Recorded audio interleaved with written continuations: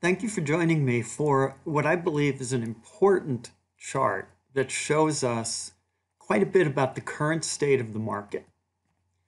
Perhaps there's a trade war looming. The US announced tariffs on steel and aluminum imports.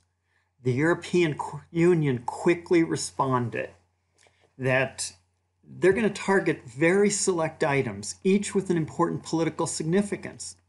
Kentucky bourbon made in the state of Senate Majority Leader Mitch McConnell. Harley Davidson Motorcycles, one of the most important employers in Speaker of the House Paul Ryan's district. And Levi's Blue Jeans, an important company in Minority Leader of the House Nancy Pelosi's district. What the European Union was saying is we will engage in a trade war if it's thrust upon us. Well, the US response was if they do that, we'll impose tariffs on European made cars. This is the type of political situation which can take on a life of its own. And US officials seem uncertain about the impact of what they're doing.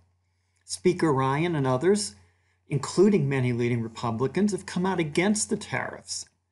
But Commerce Secretary Ross says tariffs won't matter to consumers. And he quickly went on CNBC with some visual aids to help make his point. Now, what Ross said was he bought a can of soup at the 7 Eleven and it was $1.99. He claims that the price impact of the tariffs will be trivial, not a noticeable thing for consumers.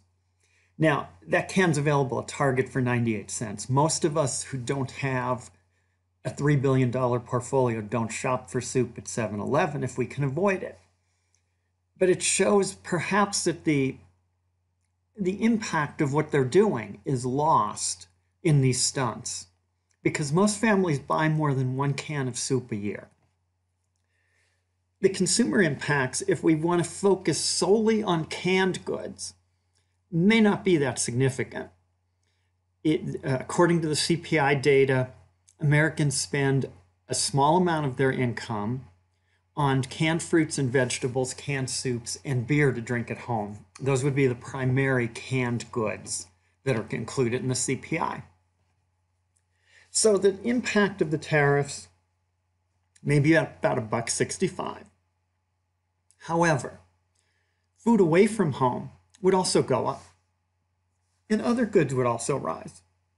New cars would become affordable, and that would push up used car prices. Appliances would cost more, and this is especially true given that we already have tariffs now imposed on price on appliances.